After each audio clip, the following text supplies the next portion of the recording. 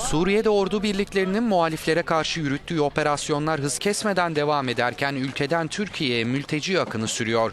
Şimdiye kadar Suriye'deki iç karışıklıktan canını kurtarmak için 24 binin üzerinde Suriyeli çeşitli yollarla sınırı geçmeyi başarırken içlerinde Özgür Suriye ordusu mensupları da bulunuyor. Euronews bu muhalif grubun bazı üyeleriyle Reyhanlı mülteci kampında bir araya geldi. Derada ayaklanmanın başladığı günden bu yana İranlılar Suriye'de. Devrim muhafızları ve Kudüs gücünün savaşçıları bizi katletmek için geldiler.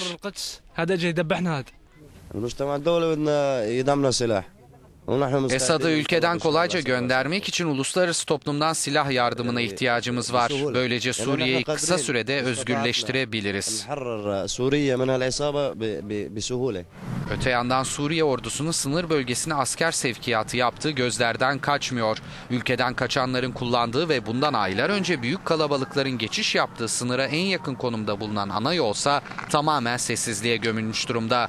Bununla birlikte Beşar Esad yönetiminin başta mültecilerin geçiş noktaları olmak üzere sınıra mayın döşemeye başladığı belirtilirken görgü tanıklarına göre ordu birlikleri hava destekli operasyonlarına devam ediyor. Euronews muhabiri Mustafa Bağ bildiriyor. Anlam planı devreye girdiği zaman Suriye'de akan kan duracak ve silahlar susacak mı? Cevabı merak edilen soru işte bu. Ancak burada konuşmuş olduğumuz Suriyeli mülteciler Anlam planının Beşşar Esad'a zaman kazandırmaktan başka bir işe yaramadığı görüşünde. Mustafa Bağ, Euronews, Reyhanlı, Türkiye.